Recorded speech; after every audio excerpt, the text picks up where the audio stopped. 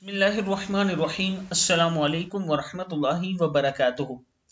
عابد راجہ channel کی طرف سے آج میں اپنے دوستوں کو رسول اللہ صلی اللہ علیہ وآلہ وسلم کا ایک فرمان سناؤں گا۔ آپ دوستوں نے اس پر ضرور عمل کرنا ہے۔ رسول اللہ صلی اللہ علیہ وآلہ وسلم نے فرمایا، سیدنا عبداللہ بن عمر رضی اللہ تعالیٰ عنہ بیان کرتے ہیں کہ تم میں سے کوئی شخص اپنے رب کے قریب ہوگا، یہاں تک کہ اللہ تعالیٰ اس پر اپنا پردہ ڈال کر فرمائے گا، تو نے فلاں فلاں عمل کیا تھا؟ وہ کہے گا جی ہاں۔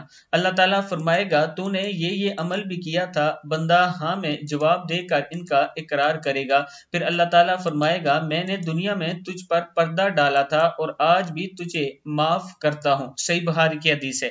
میں اپنے دوستوں سے گزارش کروں گا کہ اللہ تعالیٰ کی حمد و ثنا بیان کیا کریں، توبہ، استغفار کیا کریں اور اللہ تعالیٰ سے جنت الفردوس مانگا کریں اور شیطان مردود کی پناہ مانگا کریں۔ السلام علیکم ورحمۃ اللہ وبرکاتہ۔